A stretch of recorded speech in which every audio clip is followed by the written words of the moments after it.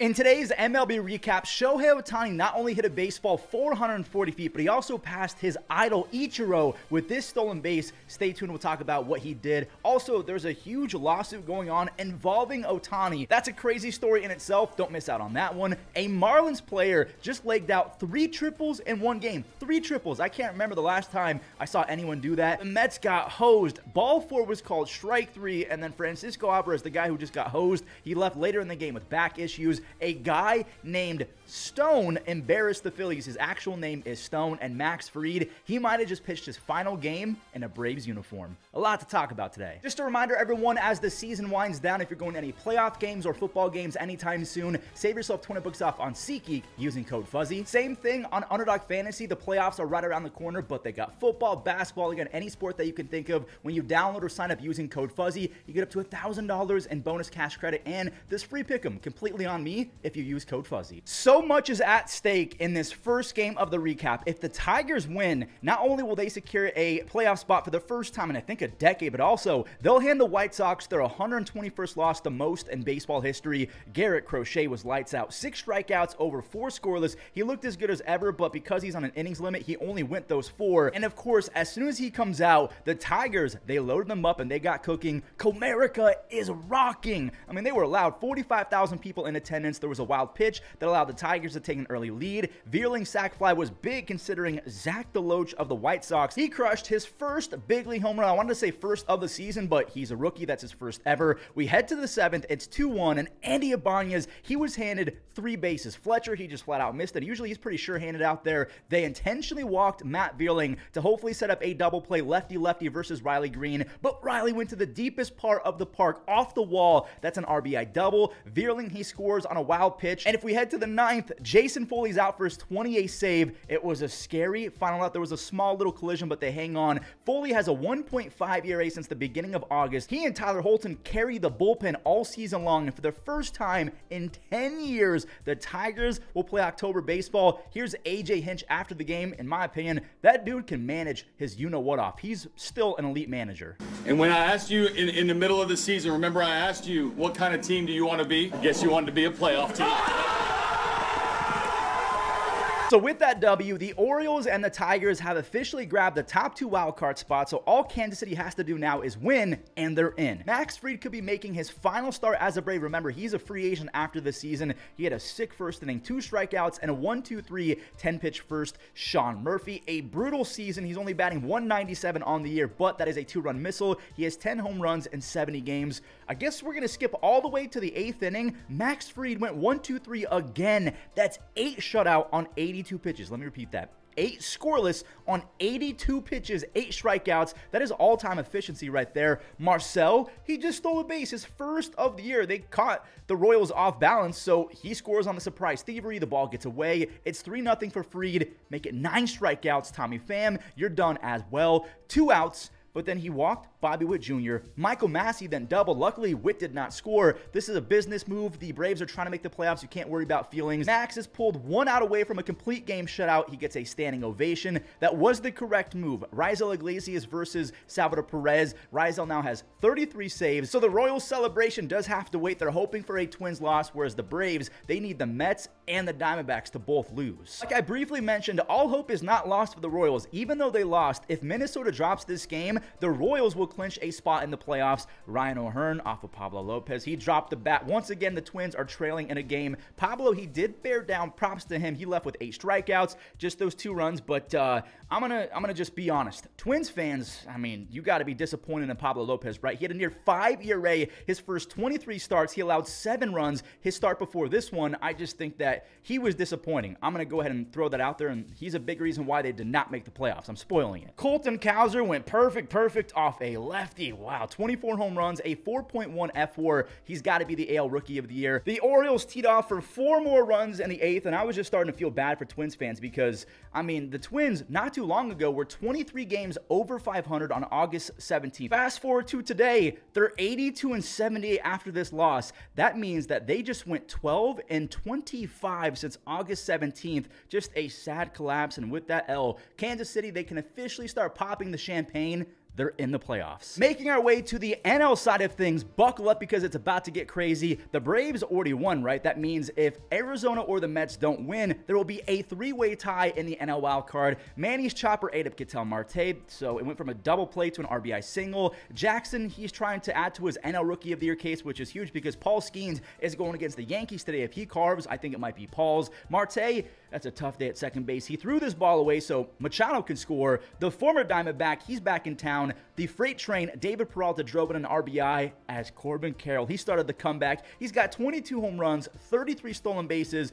You would have never guessed that he was essentially useless in the first half. That's how hot he's been over the last two, two and a half months. Xander, he and Cronenworth kind of teamed up to steal a hit from Christian Walker. That could have been a big problem. And Lourdes, I thought that ball was gone. That is a long RBI flyout. It's 4-2 Padres. And San Diego then started another little two-out rally as Luis had three base hits. His second was an RBI triple. So Luis is the only guy ahead of Shohei Ohtani for the Triple Crown. We'll talk about that in a second. Eugenio Suarez now has 99 RBIs. He makes it 5 to 3. Manny can't get there. He also can't get to this one. So Perdomo now has two ducks on a pond and that was a weird half swing. I don't know what happened there, but that essentially ended the game. Robert Suarez now has 36 saves, and the Padres do in fact secure home advantage in the wild card series. Rhys, he's trying to spoil the Mets' chance at a wild card spot make that 10 Grand Slams for the Brewers on the year. That was off of Manaea as well, and Manaea's been really good for months now. That's a huge confidence booster for Rhys heading into the playoffs. If you guys don't remember Rhys, he was a playoff machine back with the Phillies. Lindor, he's still dealing with that back issue, and the broadcast even said like he's not right. So that error was followed up by another miscue. Tyrone Taylor in center field. I think that was Tyrone Taylor. An RBI double for Brice Turang. Yelly, he was in the booth to see it all. Not only that play, but this one as well. Sal Frelick, he had to leave with a max effort attempt. I'll tip my cap, but there was don't be doing that with a couple games left. He's got to get an MRI on the hip, praying that he's going to be okay. Mark Vientos, here we go. The comeback begins. 27 home runs. He makes it 5 2, back to back games with a home run, by the way, for Vientos. It's the top of the fourth. El Troll, Francisco Alvarez, he's in with two on. Blue. That's awful. He steals ball four. We have no idea what would have happened from there. He steals the rally as well. Carlos Mendoza, the manager, he's ejected. He got his money's worth. And then later in the game, Alvarez had to leave with back spasms. What is going on? Jackson Chourio, he made a dazzling play on left as well, but now he's banged up. I think that he's going to be okay, but he's limping after making that grab. The Mets, they do score one on that sac fly. Brice Turang, who I said yesterday might win a gold glove, he dropped a run. Look at that. A run scores. By the way, JD Martinez, after that error, is now over 35. Milwaukee, are they about to implode? Gary Sanchez. He saves the vibes and the momentum for the Brew Crew. 430 feet as Trevor Megill. He got the final four outs for his 21st save. The Mets. They do drop a game, so let's look at the wild card. We know the Padres already secured the top spot. That means the Mets, the Braves, and the Diamondbacks are all tied for the final two spots. I love the third wild card. It's been so much fun to keep track of. Yes, this is a great move. A lot of people did not like it, but this is fun. So before we talk about that lawsuit kind of involving Shohei Ohtani Teoscar, he just tied a career high in home runs. Uh, I thought he had 40 with the Blue Jays, but I guess 32 was his career high. I thought he had 40 once upon a time when he was in Toronto. Ezequiel Tovar, this dude now has 74 extra base hits. He ties it with a triple. Chris Taylor, he untied it with a two-run single. And Ohtani, he will not stop raising his batting average or clutching up with runners in scoring position. He's off now. That's 57 stolen bases. Chris Taylor, he scores on the bad throw. So with that 57 stolen base, he passes Ichiro for the most stolen bases in a single season by Japanese born player, which is just mind blowing to say out loud. He's recovering from Tommy John. Anyways, enough fanboying, at least for the next couple seconds. Andy Pages, he's getting hot at the right time. He wants playing time in the playoffs. That's three home runs and seven RBIs his last four starts. Shohei, we get it. You're the greatest player ever. Get this. Ohtani, with that home run, is now 12 for his last 13 with runners in score position. He's number one in home runs with 54, number one in RBIs with 130. He's five points behind Luis Arraez because Ohtani, I think, had four base hits. Luis had three, so Ohtani is so close to a triple crown. Arraez is the only guy in his way. Oh, by the way, he's got 57 stolen bases. Here's where the lawsuit kicks in. His 50th home run ball that was hit down in Miami, it seems like it was hit forever ago because he's already at like 54, 50 something like that home runs. It's currently at auction with Golden. The dude in the black is the person who went home with it. He rejected $300,000 from the Dodgers and Shohei. He gave it to Golden where the starting bid is $500,000. The kid in red is taking legal action against Golden and that guy in the black shirt. He says that he had the ball first. Listen, I'm no Zack Hample. I'm not a ball hawk. I don't know the unwritten rules of ball catching and all of that stuff. But to me, it seemed like it was an all out scramble, a dog pile. To me, the kid in red got there a teeny bit late. A judge, he said that it's going to go to auction, but it can't be sold until the kid in red gets a chance to explain. Maybe they throw him a bone, they give him five to 10 grand, say, here's college money. I don't know, but what do you make of that? A lawsuit is in place over Ohtani's 50th home run ball over who actually caught it. I cannot remember the last time I saw someone leg out three triples in one game, but it happened up in Toronto. I almost said down in Toronto. But like Canada is up for what 99% of us. Jesus Sanchez, that is an RBI double. Jonah Bride, he continues his Mike Piazza impression. Another home run. He has 10 in the second half, or maybe even 11. Here's Xavier Edwards' first of three. He is a bona fide offensive threat. The defense does need a ton of work, but in the box, he is legit. His second triple came in the fourth inning as Griffin Conine broke his bat for an RBI right before he broke out for a home run in the seventh inning. That's got to feel good because he was once with the Jays. He was traded for Jonathan Villar way back in 2020. That is a name I have not heard in a while. Xavier, number three X, had four RBIs and a three triple day. He's the first Marlin to ever have three three baggers in one game. I think that ties an MLB record. We've never seen a four triple game. Jonah Bride again. There it is. That's why I said 11. 11 home runs and a 140 OPS plus in the second half. He has a 150 OPS plus versus righties all season long. The dude rakes. Things got a little bit scary for Cubs fans. I thought that Pete was heading straight for a collision with Ian Happ. The wind was going crazy. Ellie, he saw that it dropped. He's going to try and go for three, but Pete hit the green on his throwing meter. He's got an absolute rock, and Ellie, he's out trying for an extra base. Ezok, look at the dive, the throw. That was a sick play right there. Nick Martinez, he's now trying to keep the Cubs off the board, but a leadoff double from Nico and a bunt from PCA set up a sac fly. Miguel Amaya, he saw the ball moving in the wind and he almost ended up like Pete Crow Armstrong because that wind was just winding. Fraley does battle back to make the grab, but Chicago does score. Jameson, he went seven scoreless. He was really good in September. Three earned runs total over his final 32 innings. Nick Martinez, I hate to say, he does take the tough L, but that's the first time he ever went eight innings, maybe his final start as a red. He will take the L, like I said. Porter Hodge, he's been really good. Eight pitch ninth inning. That game only lasted an hour and 48 minutes. The Nationals embarrassed, and I mean embarrassed Ranger Suarez and the Phillies. Juan Yepez, that is a high exit velocity RBI single. And is that who I think it is? Stone Garrett is back. Yes, his name is Stone. That's his first game off the IL. He's up to 14 home runs and a 130 OPS plus in his first 117 big league games. He also has 25 doubles, so the dude absolutely rakes. His X velocities are crazy, and they should be. His name is Stone. Ranger was just not himself. He didn't even look at runners. They took off for a double steal. Jacob Young, we know that he can fly, so this is an RBI single, and that's the first inning. The Nationals got right back to it in the second. Two in off the bat of Keibert Ruiz. That is a six spot off of Ranger Suarez, who gave up seven hits and two walks on 59 pitches over two innings. The Phillies tried to steal a run, but the Nationals were ready for it. Hays, you're out, buddy. Stone, here we go. Another base hit. He makes it a three RBI night. Then he doubled in the seventh, so that's 26 doubles for his career already. He was a triple away from the cycle in his first game in over a year. Austin Hays, I'll give him some credit. He ripped a solo home run.